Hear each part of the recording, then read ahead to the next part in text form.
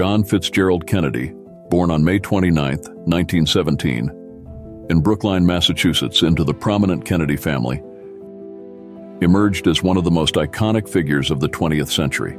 His life was an unique and vast world of distinguished military service, compelling oratory, ambitious political career, and a presidency that, although tragically cut short, left an indelible mark on the United States and the entire planet.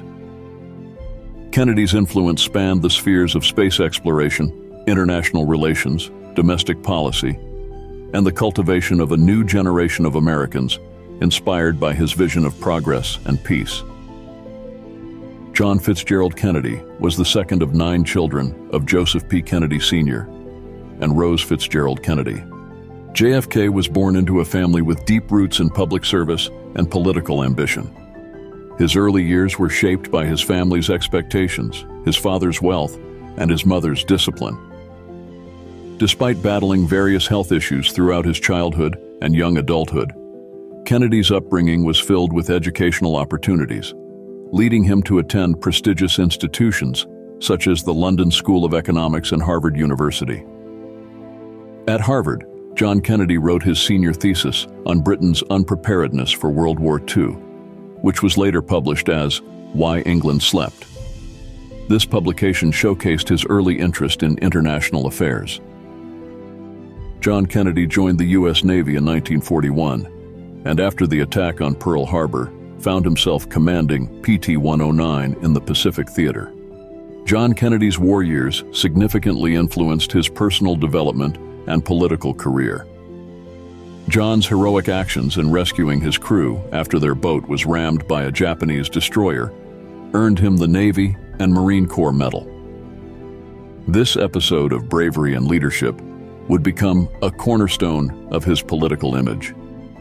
After the war, John Kennedy entered politics, successfully running for the U.S. House of Representatives in 1946 and serving three terms. In 1952, Kennedy was elected to the U.S. Senate, defeating incumbent Republican Henry Cabot Lodge Jr. Kennedy's Senate years were marked by his focus on foreign affairs and labor issues, though his record was also criticized for its lack of legislative achievements. It would take a few more years, but this would soon change. John F. Kennedy's presidential campaign in 1960 was buoyed by his charismatic personality, eloquent speeches, and the first ever televised presidential debates. Kennedy's campaign captured the imagination of the nation, especially the youth and young adults, and both men and women, and also the many diverse peoples within America itself. Kennedy's call to action, encapsulated in the phrase, Ask not what your country can do for you. Ask what you can do for your country, was spoken during his inaugural address. This now famous phrase set the tone for his administration's focus on civic responsibility and public service. Kennedy asked Americans to become proactive, not just within their own country, but around the world. Kennedy did not want the youth of America to feel entitled and become passive. Kennedy asked the youth and young adults of America to get up and do something about their own problems and their own dreams, and to make new inventions and to change the world not by domination, but by doing things better and with peace. Kennedy's influence on the space program was profound. In response to the Soviet Union's early successes in space exploration, John set the ambitious goal of sending an American to the moon before the end of the decade, culminating in the Apollo 11 mission in 1969. Sadly, John Kennedy would not live to see men land on the moon. Kennedy's commitment to space exploration was not only a matter of national pride, but also a strategic move in the Cold War space race. The American space program under Kennedy was focused on peace and technology and knowledge and not war. Though the rocket technology was birthed mostly from German Nazis and World War II, Kennedy and NASA's lead scientist of the 1960s, Wernher von Braun, led the space program to have peaceful and scientific motivations that might one day unite the world through mutual exploration and learning.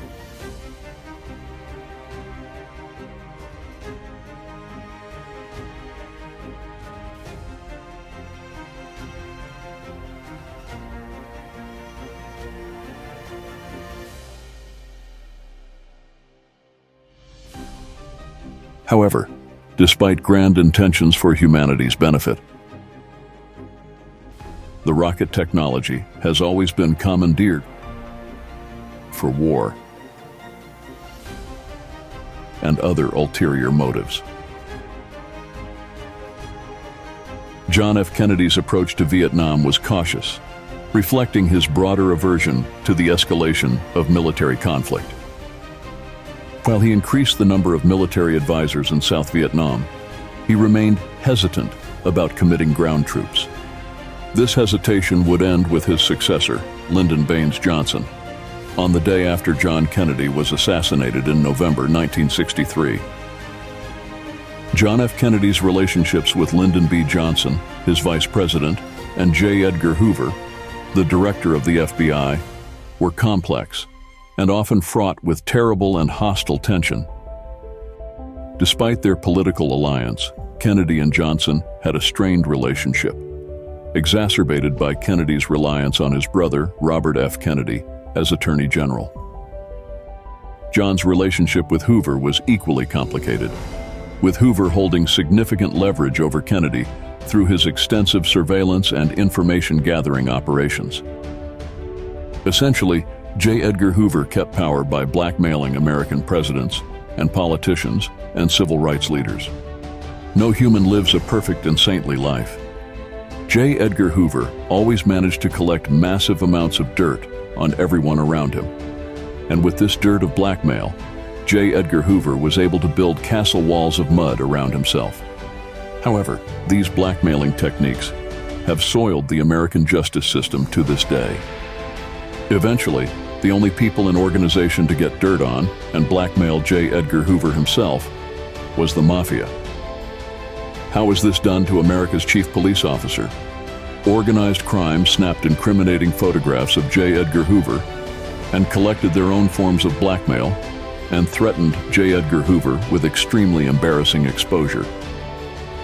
Thus, during J. Edgar Hoover's tenure, the Mafia in America was mostly safe from arrest and prosecution at least from J. Edgar Hoover and his G-men.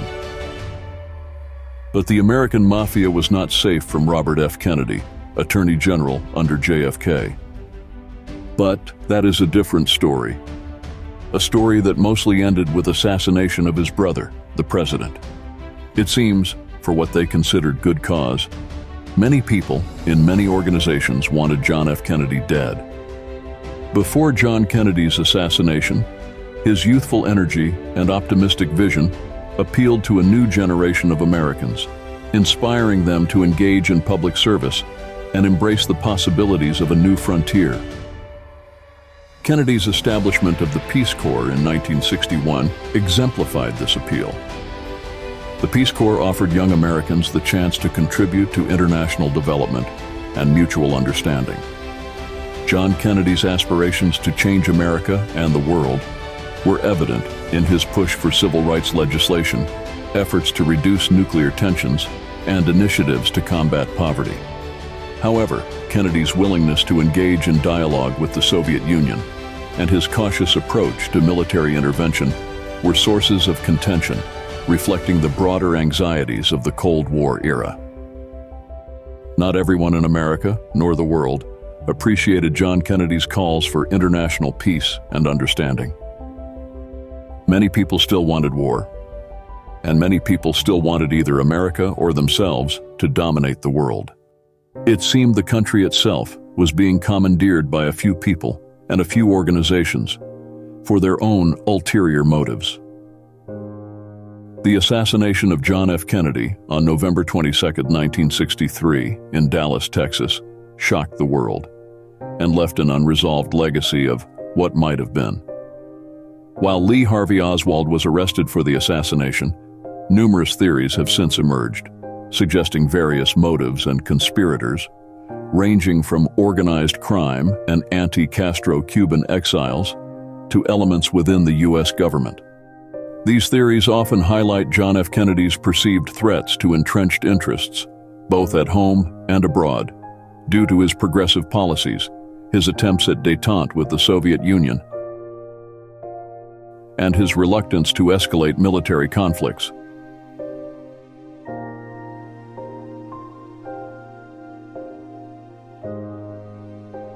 John F. Kennedy's presidency, though brief, remains a defining era of American history.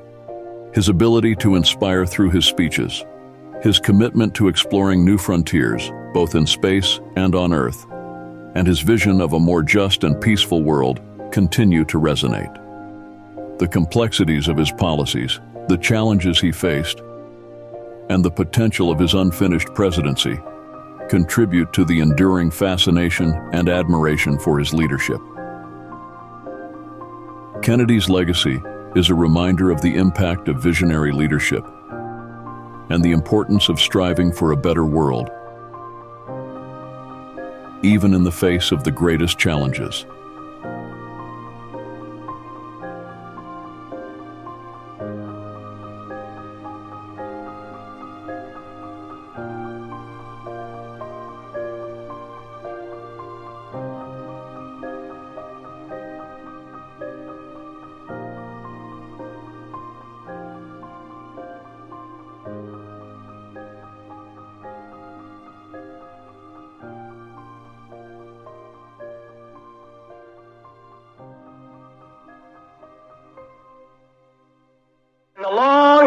Of the world, only a few generations have been granted the role of defending freedom in its hour of maximum danger. I do not shrink from this responsibility. I welcome it.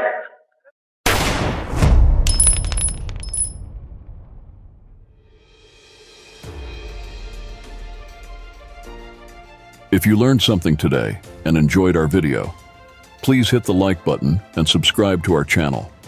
Feel free to join our discussion about simple and honest history in the comments section. These little gestures of gratitude helps us make more videos for you. Stay curious. Stay enlightened. Keep an open mind and fill it with simple and honest knowledge.